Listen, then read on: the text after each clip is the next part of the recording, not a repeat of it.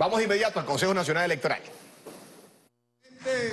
De todos los venezolanos y las venezolanas, sin ninguna excepción, en paz y electoralmente. Voy a ser el presidente para hacer de este nuestro país el mejor país del mundo, que bien puede serlo.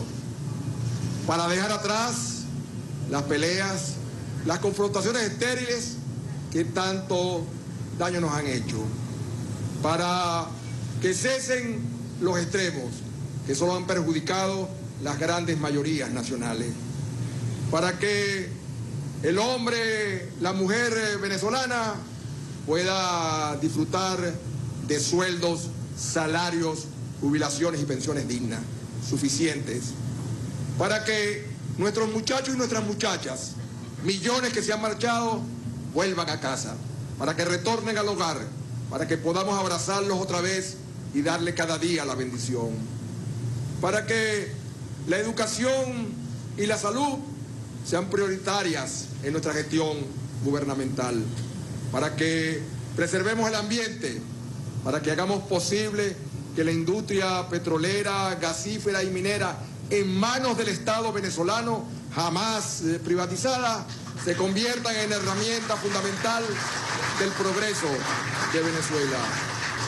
Vamos a ser presidente de Venezuela para brindar el mayor apoyo y dar las mejores oportunidades a los más jóvenes, a las mujeres, a los pueblos originarios, para hacerlo con nuestros obreros y con nuestras obreras, con los profesionales, con los profesores universitarios, con los profesores de educación media, básica, con nuestros docentes, que tan importantes son para el mañana que construiremos.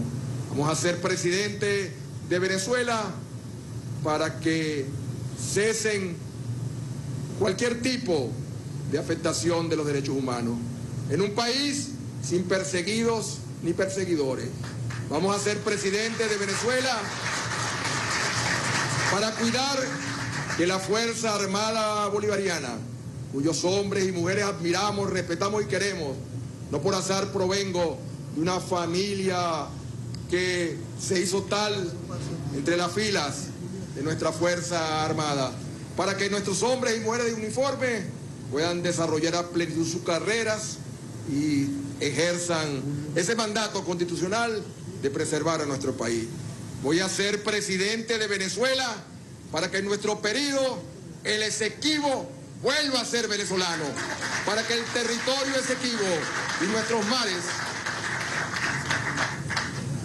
como en su momento lo quiso Rómulo Betancourt, Rómulo Gallegos, Carlos Andrés Pérez, Jaime Lucinchi, Raúl Leoni, pasen a sus legítimos poseedores.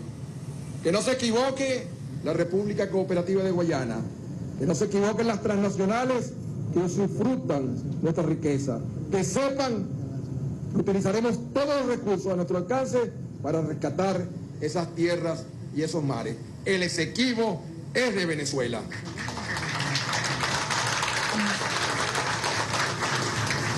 Vamos a ser presidente de Venezuela en el consenso, en el entendimiento, en la oportunidad para que todos, absolutamente todos, puedan contribuir a la prosperidad generalizada. Venezuela va a ocupar en el mundo el sitial que le corresponde, reinstitucionalizándose, pero también reinsertándose por completo en el escenario internacional, que los pueblos de Estados Unidos, los de la Unión Europea, nuestros vecinos del continente, pero también los que han sido solidarios en estos años, Rusia, China, Turquía, los países del Golfo Pérsico, sepan que en Venezuela encontrarán un aliado en la tarea de garantizar la paz mundial y la prosperidad y el progreso mundial. Gracias, muchísimas gracias a quienes me postulan. En principio, Acción Democrática, su dirigencia, su liderazgo, al frente Bernabé Gutiérrez Parra. Milito con orgullo en el Partido del Pueblo antes de cumplir 18 años. Y esto que hoy recibo es una gran responsabilidad que consciente estoy de su alcance. Gracias también a nuestros amigos de Bandera Roja, una cincuentenaria organización que su apoyo dice mucho de nuestra capacidad por conciliar. Ayer en la lucha armada, hoy en la lucha cívica por un país mejor. Gracias a nuestros hermanos que lo son de la Unión Nacional Electoral y del movimiento republicano. Gracias también a los muchos que se van a sumar en los próximos días, antes del 25 de marzo 1, antes del 20 de abril después. Pero tengan la absoluta seguridad, venezolanas y venezolanos, que nosotros, que encarnamos la única y verdadera alternativa de cambio en paz, vamos a tener la capacidad de unir en armonía a todos aquellos los que deseamos un cambio, un cambio que va a ser realidad. A todos entonces, venezolanas y venezolanos, nuestra invitación a que participemos activamente en esta campaña electoral, que votemos masivamente el 28 de julio, que eso le dará la mayor legitimidad al proceso, a tener confianza en el Consejo Nacional Electoral, que en manos de los equipos del Consejo Nacional Electoral, del Poder Electoral, tanto en Venezuela como en las regiones y los municipios, está el garantizar, y lo van a hacer y se lo exigimos que así sea, un proceso electoral transparente y creíble. Y gracias fundamentalmente a Dios que nos permite disfrutar, estar aquí en este momento extraordinario. A Dios, y yo católico practicante, a Dios y a la Virgen del Valle. A ella y al Supremo Creador. Gracias. A mi familia, a Larisa, a mis hijos, a mis nietos que me inspiran. Gracias también. Por ellos, por ustedes, por el pueblo de Venezuela y venezolanos y venezolanas en general, vamos a hacer entonces de este país, de Venezuela, el mejor país del mundo. Que Dios nos bendiga a todos.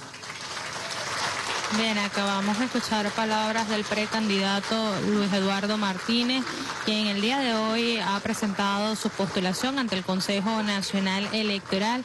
Cuatro organizaciones con fines políticos respaldan su candidatura ante el Poder Electoral y han cumplido también con los requisitos que establece el Poder Electoral. Es parte de la información que nosotros podemos aportar a esta hora y con ella retornamos al contacto.